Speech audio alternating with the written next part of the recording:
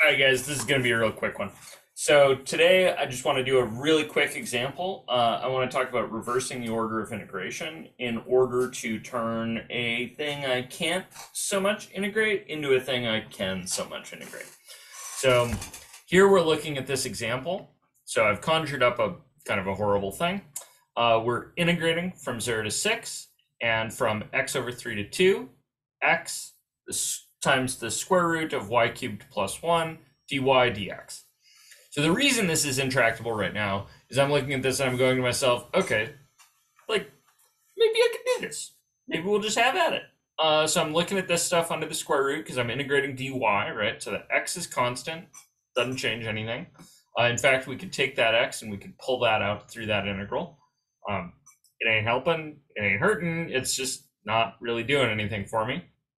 Uh, so then I'm looking at this stuff under the square root and I'm thinking to myself, hmm, can't integrate that flat. Uh, maybe I can make a quick u substitution. So I'm like, okay, so let's let u be something like y cubed plus one. That makes du something like two y. Oops, that's not how you differentiate, Joe. Three y squared dy. Like, okay, I got a dy, um, and I can make a three, but I can't make any y squareds. and this isn't one of those ones where you can solve for y squared here, solve for y here. It's not, well, I mean, I guess it could, but it's not so easy. So I'm going to say, yes, this isn't working out the way I want it to work out. So what I'm going to do instead is I'm going to go, all right, let's, uh, let's just look at this here thing. So I'm going to say, what if I was able to integrate dx first? that might get me some y's because this region isn't a rectangle. So there, if I integrate dx first, there ought to be some y's in the bounds. The problem is right now I have bounds written in x's first. That means I need to think about this a little bit. So I'm looking at this region. I'm thinking, okay, so this is the region between y is x over 3. So let me get myself out one of these. I'm going to do a little by hand graphing and then we'll look at Desmos quick. So I've like, okay, so it's from y equals x over 3 to y equals 2. So y equals 2 is pretty easy. That's up here. Right? So we're talking about stuff down below y equals 2. And we're talking about stuff above y equals x over 3. So that's a line, right? It's got a slope of up up one for over three. Uh, one, two, three, one, two, three. Those are just garbage dots, Joe. All right, so I got a line looks something like this. Okay, so we're above that. We're below the dotted line, right? And we're also supposed to be in between zero and six, right? So that's going to be in between x is zero and x is six. So that's going to be this region in here. This little triangle. So I'm going to throw this in Desmos quick. So here you go. Here it is thrown in Desmos. I got an inequality for y, I've got an inequality for x. There's kind of a cool thing you can do with Desmos. So like right here, I'm saying, okay, this purple region in the middle here ought to be what I'm talking about. You can actually do a kind of dependency here. So if you put curly braces after this, you just take this guy, cut it, and drop it in there. And then we'll get just our region that we're talking about. So that's the little triangle I'm talking about. So, uh, just gonna I'm gonna snip this little triangle because it's gonna be easier to talk with the Desmos graph. Okay, so I want to reverse this order, but I can't change the region. So if I'm going to reverse the order, I want to think, okay, instead of starting with where do y's vary between, I'm going to start where do x's vary between. So I'm going to turn my little Riemann rectangles on their sides, right? So we're going to do this. So this is running from x is zero on this side over to that line. Well, that line was y equals x over three. which is the same thing, right, as 3y equals x. So this is the line x equals 3y over here for my right hand side. So that what that means is I can rewrite my double integral. We're still integrating the same function, right? So don't think this is going to change the function you're integrating. We're still integrating x times the square root of y cubed plus 1. We're going to integrate dx dy now. The x's are going to range from 0 up to 3y. And then the y's, right? So that's my x's. So then the y's are going to range from 0 to 2. You see that? And now we're going to have something that we might be able to integrate. So let's try that. So we're like, okay, so same same volume, right? That I'm talking about. I'm talking still talking about the volume underneath this surface over top of that rectangle. And I'm like, okay, maybe I can integrate now. Uh, this crap, this square root of y cubed plus one shit, uh, that stuff is constant with respect to x. So that's just going to chill. So I'm going to have the integral from 0 to 2 of the square root of y cubed plus 1 times, uh, well, x's integral is x squared over 2.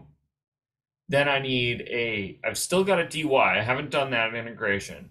And I need to evaluate from x is 0 to x is 3y here. So I'm going to make that substitution. I'm going to integrate from 0 to 2. And to have the square root of y cubed plus 1. And then in here, I'm going to have a 9y squared over 2 minus 0 squared over 2 dy. And so ultimately here I'm going to get 9 halves times the integral from 0 to 2 of y squared times the square root of y cubed plus 1 dy. And since I know what I'm aiming at, I'm going to actually break that 9 into a 3 out here and a 3 in here. Now I'm going to do that u substitution that I wanted to do to begin with, right? So I'm going to let u be y cubed plus 1 then du is going to be 3y squared dy. Got myself my dy over here. I've got my d, uh, sorry, my 3y squared here. So the green underlined stuff is going to turn into my du. So I'm going to get 3 halves, the integral from 0 to 2. Oh, whoops, those are old bounds, right? So we're going to have an integral. We'll figure bounds in a second uh, I've got a du now, and I've got the square root of u. Now for my bounds, when this bottom bound, that's in y equals 0, and the top bound is y equals 2, right? So I'm going to swap those to u by subbing 0 in for y in my u equation. So that's going to give me u is 1. And I'm going to get uh, from plugging 2 in, I'm going to get u is 9. Then we're going to do our integral. So we're going to get 3 halves. Uh, when we integrate u to the 1 half power, we get u to the 3 halves power over 3 halves. Oh, hey, look at that. That's hella convenient. And then we're evaluating from 1 to 9. Those are now in use, so you don't have to back substitute. So you can just slam these in there. So you got u to the, oops, not u. We're going to get 9 to the 3 halves power minus 1 to the 3 halves power, which is going to give us 27 minus 1, get 26. Okay, so what does the 26 mean here? 26 here means there's 26 cubic units underneath this surface above this triangle. Uh, I'm going to pause this and go render that in Math 3D quick. Okay, so I've got something worked out here. Um, so in order to graph a surface, there's this tool called a parametric surface. So you can graph the graph of a function pretty easily with these. Graphing other stuff's a little tricky. Um, we're going to talk about these a bit more, like quite a bit more later. Um, but it's kind of worth picking up just to be able to make pictures of stuff. So what I did with this is I did u comma v. So u is just playing the part of x, v is playing the part of y. Then I plugged my function in for uh, the z coordinate. And then I plugged my bounds in for u and v. I used the bound the newer bounds, um, but you could use the old ones too. It doesn't matter. Then I kind of dorked around with some parametric curves here. So this little line is the vertical line here. Um, this top, for whatever it's worth, I plugged in uh, the point six comma two in the domain, right in the xy plane, into my function, and figured out that this is 18 high. So this is uh, this line goes from uh, six comma two comma zero to six comma two comma 18. And then I've got these other two parametric curves. Those are the these two in the plane, just so I can see my triangle. So as you can see, I've got my piece of my kind of bent surface above a triangle. You might notice that looks a lot like a triangle. So just kind of like maybe some ballpark stuff. Um, if I just kind of ballpark this, I'm just going to grab a picture of this quick.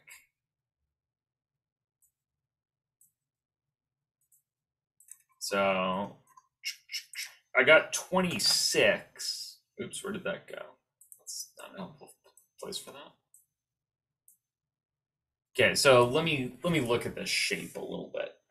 So this shape is a triangle on the bottom, right? So this distance is six across here. This distance here is two. And then this height for the whole thing is 18. So the whole rectangle, right? This entire rectangle going up to 18 and over and then all the way down, right? This whole rectangle here has a volume that we could figure out. So that whole volume is 2 times 6 times 18, which feels a lot bigger than 26 because it's 12 times 18, and 18 is almost 26 already, right? So that feels a bit big. Um, but I'm not really filling up the whole box here. If I look at this kind of shape, right, it's above this triangle. So that's like, oh, okay, so the area of the base is like 12. Area of base, it's like 12 units, right? And then it's like 18 units tall, but it's not actually the whole thing. You guys see that? It's only this kind of slice. But if I took two of these, if I like flip it over, I think I think it you know, it feels like I sliced it in half, doesn't it? Like if I yeah, I feel I really I just feel like I probably sliced it in half-ish. So I'm like, okay, so the area of the base is maybe 12 by 18 like so if the if it was this whole shape, right? If we went all the way up and had our whole triangle, we'd figure it's the area of the base times the height might give me 12 times 18. That's maybe a bit more reasonable. But you might notice that it's not actually quite half of it because actually this part over the volume of this part over here, this is quite a bit fatter than this part. You guys see that? I cut from the narrow edge here down towards this guy. So I think there's probably three of them in there. I'm not really totally sure, but I'm pretty sure that this is seeming reasonable. 26 seems legit. We could kind of build this thing. We could like stack some cubes in here and see what we're getting. Um, or we could do like Riemann integration, right? but we're just going to reinvent the integral again. I just want to be sure this is like kind of half-ass reasonable. And so I feel like I'm eh, maybe 26. It feels feels okay. It's not not the most comfortable with it, but I'm not uncomfortable with it. Um so uh what we've learned is sometimes you can reverse the order of integration to make a crappy integral easier. This is a trick you only get here like we didn't have this trick in Calc 2. Nobody taught you this trick in Calc 2 because you weren't integrating over regions, and so there wasn't there weren't two things to switch, right? You did kind of see this in like integrating shells and washers. You had a couple different options for how to pick those things apart. This is that same thought, more or less. Um, bit feels a bit different, but I promise it's about the same thought. Um, that's it for the day. Thanks, guys, or for this video anyway.